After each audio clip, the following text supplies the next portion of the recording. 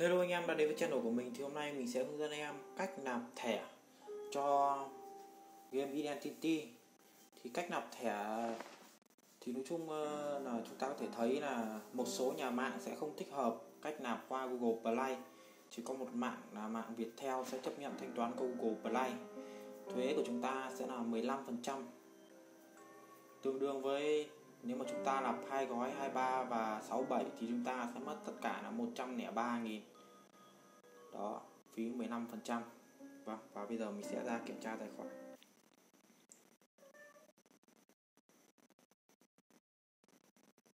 Đây, tài khoản của mình bây giờ hiện tại là 147 thì mình sẽ vào vấn đề chính luôn. Thì thể, tỷ lệ chiết khấu từ đầu nó là 10% nhưng mà thời điểm gần đây do một cái, số cái nên nó đã lên là 15% sim của chúng ta tối đa là giao dịch một ngày là 5 triệu nha anh em.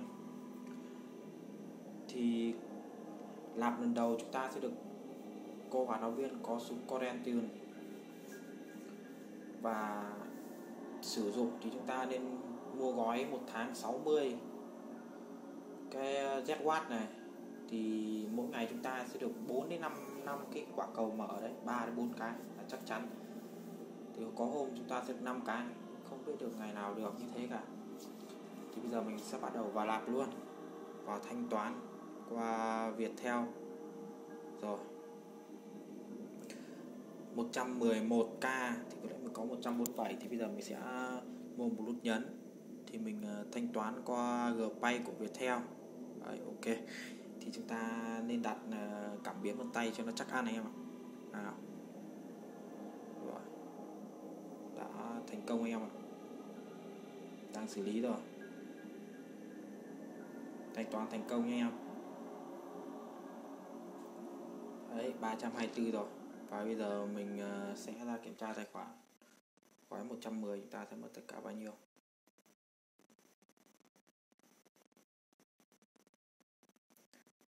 110 chúng ta sẽ mất ờ, một mười bảy nghìn anh em ạ. 17.000 tiền thuế đấy. Và bây giờ mình sẽ vào vấn đề sử dụng cho nó hợp lý. Thì đầu tiên, anh em có thể mua gói này. Thì chúng ta có thể được ờ, 5 5 cái hình ờ, tam giác này để mở vào 288 mảnh. Nói chung cũng cũng hời đấy, mình mua rồi.